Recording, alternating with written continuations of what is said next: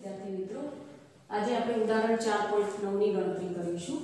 ચાર પોઈન્ટ નવમાં એવું કહ્યું છે કે સંક્ષિતિ સાથે ત્રીસ અંશના ખૂણે એક ક્રિકેટ બોલને અઠ્યાવીસ મીટર પ્રતિ સેકન્ડના વેગથી ફેંકવામાં આવે છે.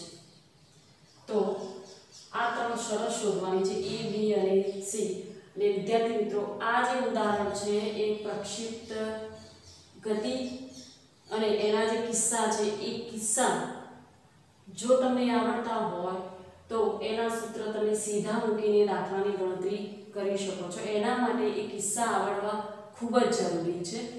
અને આ દાખલો પણ, એટલે કે ઉદાહરણ ચાર પોઈન્ટ નવ પણ એટલું જ મહત્વનું છે.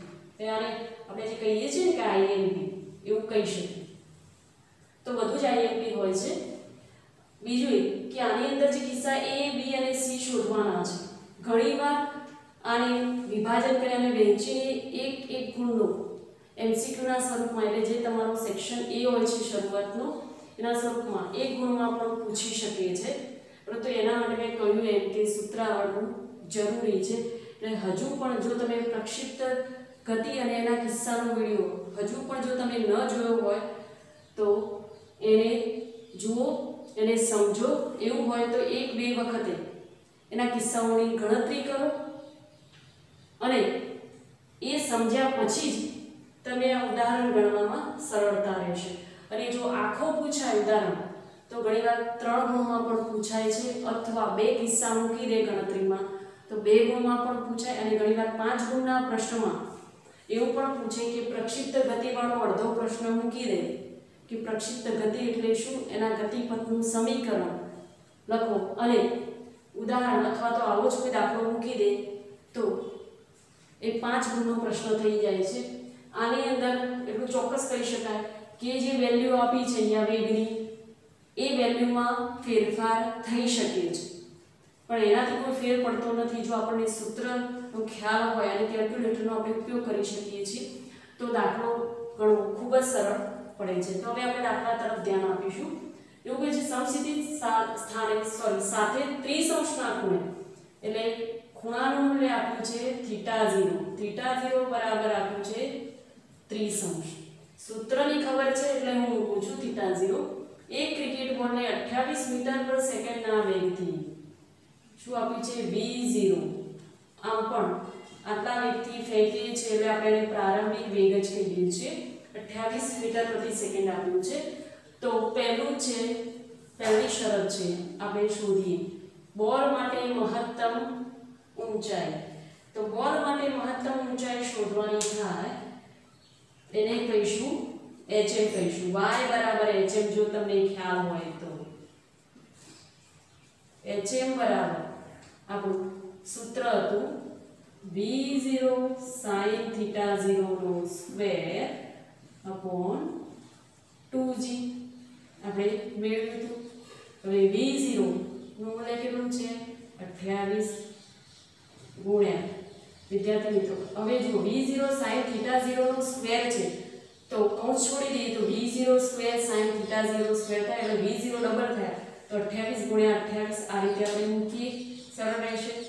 ગુણ્યા sin થીટા 0 તો કેટલું મૂલ્ય છે? sin 30 ઇન્ટુ sin 30 બે વખતે આપણે મૂલ્ય મૂક્યું. હવે એના માટે આપણે કંઈ ફરીથી અલગથી મૂકવાની જરૂર નથી. ટુ ઇન્ટુ હવે આપણે એમ થશે કે જીનું મૂલ્ય આપ્યું નથી. તો વિદ્યાર્થી મિત્રો, તમને સરળ પડે એ રીતે જો મૂલ્ય ના આપ્યું હોય, તો આપણે મોટા ભાગે નવ પોઈન્ટ આઠ લેતા હોઈએ છીએ અથવા તમે દસ પણ લઈ શકો છો. તો આપણે લઈશું નાઇન પોઈન્ટ એટ તો ઇઝ ઇક્વલ ટુ આપણે મૂકી દઈએ વેલ્યુ સાંત્રીસથી અઠ્યાવીસ ગુણ્યા અઠ્યાવીસ શું મૂલ્ય શું છે? One half into one half અને નીચે. આ મૂલ્ય આવશે two into nine point eight તો આપણને ઊંચાઈ શું મળે? આપણે ગણતરી કરીએ. તો અહીંયા એ કેન્સલ થશે બે ચૌદ દુ અઠ્યાવીસ. બે ચૌદ દુ અઠ્યાવીસ. એ થયું? અહીંયા થશે ચૌદ સીતા અઠ્ઠાણું એટલે પોઈન્ટ સેવન મળશે. વિદ્યાર્થી મિત્રો, અહીંયા આપણને શું મળશે? બે સીતા ચૌદ મળશે. એટલે અંશમાં ફક્ત ને ફક્ત શું વધ્યું? સાત અને નીચે પોઈન્ટ સાત. હવે પોઈન્ટ સાત છે. એટલે શું થાય? સિત્તેર ભાગ્યા સાત થાય? આ શું થાય? સિત્તેર ભાગ્યા સાત. એટલે પોઈન્ટ સેવન છે એટલે ટેન અપોન સેવન કહેવાય. તો કેટલું મળે? ટેન મીટર જેટલી મહત્તમ ઊંચાઈ આપણને મળે. તો આપણને મહત્તમ ઊંચાઈ અહીંયા, વિદ્યાર્થી મિત્રો, આપણને મળી કેટલી મળી દસ મીટર. હવે બીજું, બીમાં શું કહ્યું છે? તે જ સ્થળે પાછા આવવા માટે મોલે લીધેલ સમય. આપણે જાણીએ છીએ કે પ્રક્ષિપ્ત પદાર્થ અથવા પ્રક્ષિપ્ત ગતિનો અથવા એનો ગતિપથ કેવો છે? પર્વલયાકાર છે. તો તે જ સ્તરે પાછા આવવા માટે લીધેલો સમય, જેને શું કહીશું? ટાઈમ ઓફ ફ્લાઇટ ઉડ્ડયન સમય. પ્રક્ષિપ્ત પદાર્થનો કુલ ઉડ્ડયન સમય. તો આપણે પ્રક્ષિપ્ત પદાર્થનો કુલ ઉડ્ડયન સમય શોધીએ. બી જેમાં આપણે એને કહીશું ટીએમનું સૂત્ર મૂકીશું ટાઈમ ઓફ ફ્લાઇટ જે કોના જેટલું છે? ટુ ટીએમ જેટલું, એવું પણ કહી શકીએ. અને ટીએમ શું હતું? તો મહત્તમ ઊંચાઈ માટે લાગતો સમય હતો. તો સૂત્ર શું થશે?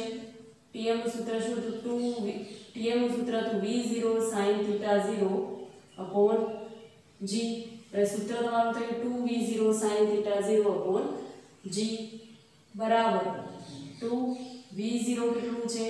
આપણું અઠ્યાવીસ ગુણ્યા સાઈન ત્રીસ અંશ અપોન જી કેટલું લઈએ છીએ? નાઇન પોઈન્ટ એઇટ તો ઇઝ ઇક્વલ ટુ સાઈન કિંમત મૂકી દઈએ. Two into twenty eight point one half અને નાઇન પોઈન્ટ એઇટ આપણે અહીંયા લઈ લઈએ. બે, ચૌદ દુ અઠ્યાવીસ, ચૌદ સીતા, અઠ્ઠાણું એટલે પોઈન્ટ સેવન હવે વિદ્યાર્થી મિત્રો, આપણને અહીંયા કેટલું મળે છે? બે ભાગ્યા પોઈન્ટ સાત, આટલું રહે છે. બે ભાગ્યા પોઈન્ટ સાત હવે આપણે આવું મૂકી શકીએ two into ten upon seven એટલે કેટલું થાય વીસ ભાગ્યા સાત એટલે સાત તરી એકવીસ ન થાય એટલે કેટલું મળે સાત દુ ચૌદ છ વધ્યા હવે આપણે પોઈન્ટ તો મૂકવું પડે છ વધ્યા જીરો એટલે શું કરીશું સાતનો ઘડીઓ બોલીએ સાત અઠ્યા છપ્પન અને સાતમો એટલે લગભગ two point eight eight something એટલે આપણે એમ કહી શકીએ કે ફાઇવથી અથવા પાંચથી મોટો આંકડો હોય આગળનો, તો એને આપણે આગળના આંકડામાં ઉમેરીએ છીએ. તો લગભગ ટુ પોઈન્ટ નાઇન સેકન્ડ જેટલો આપણને ટાઈમ ઓફ ફ્લાઇટ મળશે.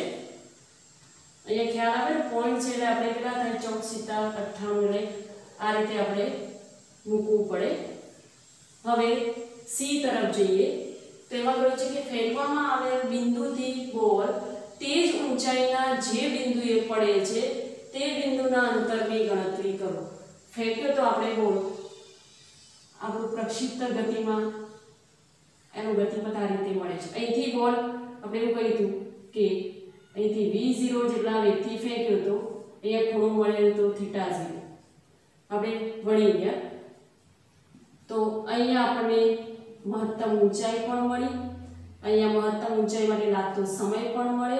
પરંતુ જે બિંદુએ બોલ પડે છે તે બિંદુના અંતરની ગણતરી એટલે શું થયું વિદ્યાર્થી મિત્રો, અહીંથી આખી આ અવધિ, મહત્તમ અવધિ અથવા સમક્ષિતિ અવધિ જેને આપણે કહીએ, એ આપણે શોધવાની છે. એટલે આપણે આર શોધવાનું છે. તો હવે આપણે આરનું સૂત્ર મૂકીએ. તો આરનું સૂત્ર શું છે? તો સમક્ષિતિજ અવધિનું સૂત્ર છે r બરાબર v0 square sin 2 theta 0 upon g. તો આપણે સૂત્ર મૂકીશું. તો હવે c ની ગણતરી કરીએ. જે બિંદુએ બોલ પડે છે તે બિંદુના અંતરની ગણતરી.